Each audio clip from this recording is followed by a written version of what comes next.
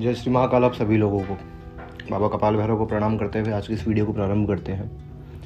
अक्सर आपने देखा होगा और सुना भी होगा कि साधु महात्मा जो होते हैं या फिर भगत वगैरह जो होते हैं, ये मोर पंख रखते हैं अपने पास में।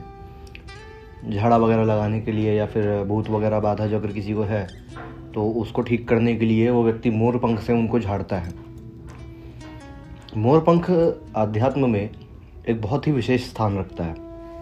केवल इसलिए नहीं कि वो झाड़ा लगाने के लिए काम में आता है। झाड़ा तो लगता ही है उससे, लेकिन मोरपंख के अपने आध्यात्मिक प्रभाव हैं, जिनके कारण मोरपंख जो है, वो किसी भी प्रकार की नकारात्मक शक्ति को हटा सकता है और सकारात्मक शक्ति का प्रवाह कर सकता है। मोरपंख का इस्तेमाल लगभग हर व्यक्ति करता है जो अध्यात्म में जुड़ा हुआ है।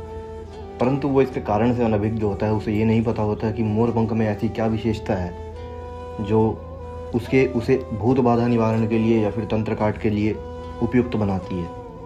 आज इस वीडियो में मैं आपको इसी बारे में बताऊँगा कि मोर पंख की ऐसी कौन सी विशेषता है, जिस कारण से वो हर प्रकार की तंत्र बाधा में एक प्रभावी उपाय के रूप में सामने आता है। अब कुछ लोग कहेंगे कि इसका कारण भगवान कृष्ण है, क्योंकि वो मोर पंख धारण करते हैं। कुछ लोग कहेंगे कि वो इसका कारण गण कुमार कार्तिकेय हैं क्योंकि उनका वाहन गण, जो है वो मयूर है। परंतु इन दोनों में से कोई भी जवाब नहीं है। इसका कारण है भगवान गणेश का एक अवतार, जिसे मयूरेश्वर कहा जाता है। जैसे कि आप सभी को पता है कि गणेश जी मुख्य रूप से चूहे की सवारी करते हैं। परंतु ये बात बहुत कम लोग जानते हैं कि भगवान गणेश के नौ और वाहन हैं, जिसमें सिंह है, अश्व है, सर्प है इस प्रकार से उनके करीब नौ वाहन हैं, जिनमें से एक वाह एक वाहन है उनका मयूर।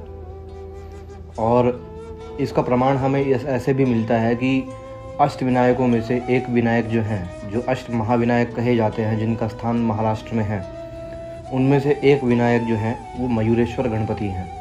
जैसे कि आप सभी लोग जानते हैं कि हमारी कुंडलिनी में मुख्य जो चक्र होते हैं, वो सात चक्र हैं, जिनके द्वारा हमारी आध्यात्मिक, भौतिक ऊर्जाओं का नियंत्रण होता है। यही सात चक्र जो हैं हमारे समस्त शरीर के क्रियाकलापों का, चाहे वो भौतिक हो, चाहे वो आध्यात्मिक हो, उन्हें नियंत्रित करते हैं।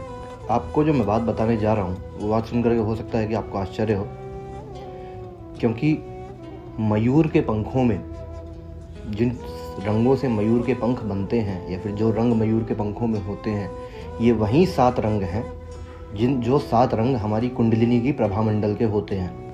यानी कि जो सात रंग हमारे सात चक्रों के होते हैं, उन्हीं सात रंगों से मिल करके एक मयूर का पंख बनता है। मयूरेश्वर अवतार में जिस समय भगवान ने मयूर को अपना वाहन बनाया था, उस समय उन्होंने अपनी कुंडलिनी के सातों चक्रों की प्रभा और या ऊर्जा को एकत्रित करके उनसे उस मयूर की रचना की थी, जिस मयूर पर वो विराजमान है। यानी कि एक तरीके से अगर देखा जाए तो भगवान गणेश जो हैं, वो साक्षात कुंडलिनी की सवारी करते हैं। जैसा कि मैंने बोला कि भगवान गणेश के नौ अन्य वाहन भी हैं। उसी तरीके से उन्होंने अपनी कुंडलिनी की सभी ऊर्जाओं को एकत्रित करके उनसे उस मयूर की रचना की थी, जिस मयूर पर वो सवारी करते हैं। इसके साथ ही आप लोगों को ये भी पता होगा कि भगवान गणेश जो है, वो मूलाधार चक्र के देवता हैं। मूलाधार हमारी कुंडलिनी का सबसे पहला चक्र है और भगवान गणेश उसके अधिष्ठात्र देवता हैं। तो जैसा कि मैं अपनी पहली वीडियो में बता चुका हूँ कि हमारे शरीर में जब भी किसी भी प्रकार की कोई नकारात्मक शक्ति का वास होता है तो वो हमारे चक्रों में ही कहीं स्थापित होती है। हमारी कुंडलिनी के चक्रों में, हमारे उपचक्रों में या फिर हमारे अणु चक्रों में ही उसका स्थान होता है कहीं ना कहीं। जब हम मोर पंख से झाड़ते हैं किसी को या फिर जब हम मोर पंख का प्रयोग करके किसी की नकारात्मक ऊर्जा को काटते हैं तो वो नकारात्मक ऊर्जा बहुत आराम से उसके शरीर को छोड़ करके उस मोर पंख में वास करने लगती है। क्योंकि एक मयूर के पंख का वही तत्व होता है जो तत्व आपकी कुंडलिनी का है। अब बहुत सारे लोग ये सोच रहे होंगे कि मयूर पंख को ऐसे ही प्रयोग कर लिया जाता है, कि मयूर के पंख तोड़ के लाए, उनको हमने झाड़ना शुरू कर दिया, उससे व्यक्ति ठीक हो जाएगा। ऐसे नहीं होता है।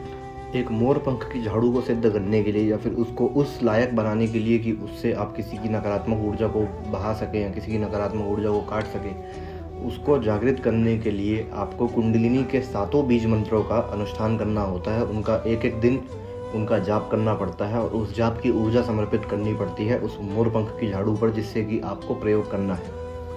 तब जा कर के वो मयूर पंख जो है, वो इस लायक बनता है कि आप उससे किसी को झाड़ा लगा सके तो वो ठीक हो जाए। कुंडलिनी के सातों बीज मंत्र जो हैं, वो इस समय आपको आपकी स्क्रीन पर दिखे मिल जाएँगे। आपको करना कुछ नहीं है। आप लोगों को ऐसा लग रहा होगा, मैं यहाँ पे ये विधि आप लोगों को इसलिए बता रहा हूँ ताकि आप लोग तांत्रिकों के चक्कर में पड़ने से बच जाएँ और आप लोग खुद से ये चीज़ें कर सकें। ये कोई मोर पंख का इस्तेमाल करना कोई बहुत बड़ी चीज़ नहीं है।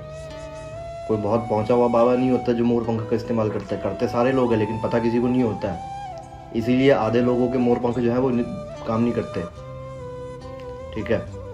तो जिन सात बीज मंत्रों को अभी आपने पीछे देखा, आप लोगों को एक हफ़्ते का अनुष्ठान करना है, जिसके अंदर की आपको प्रतिदिन एक एक बीज मंत्र की इक्यावन इक्यावन माला जाप करनी है और डेली जाप करने के बाद में आपको हाथ में जल लेकर के ये संकल्प लेना है कि मैंने जो भी जाप किया है, उस जाप की ऊर्जा को मैं इस मोर पंख के अंदर समाहित करता हूँ और उसके बाद में जब आपका सातों दिन का ये क्रम पूरा हो जाएगा, जब आपका सातों दिन का ये अनुष्ठान पूरा हो जाएगा, तब जा करके वो मोरपंख उस काबिल होती है कि उससे आप किसी की नकारात्मक ऊर्जा को हटा सकें।